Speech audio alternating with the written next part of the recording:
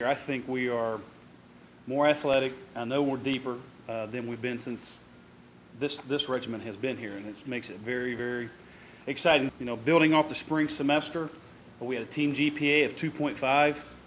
Uh, that's pretty good. I mean, the places I've been, 2.8 has been excellent when you have 105 guys. And uh, very proud of those guys. Had 72 returners in summer school. That's a credit to Mr. Markham and the people that give us summer school funding. Uh, there's a lot of schools out there in Conference USA not getting that kind of funding. And allows these guys to stay here and work with Cochran and have the seven on sevens that we had all summer. Very excited about that. Less than 10 guys needed summer school for eligibility. Less than 10 guys. Has not been like that since we've been here. That is outstanding.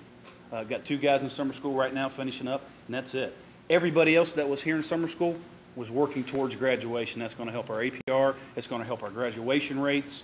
Very, very proud of that. We got three players this year uh, playing their final season, already graduated. Uh, Altabello, Hoskins, and Parkhurst. And uh, had seven graduate in the spring. Ten more will graduate in December. And Leggett and Wesley Bourdain will graduate in three and a half years. Things that we're very proud of away from football.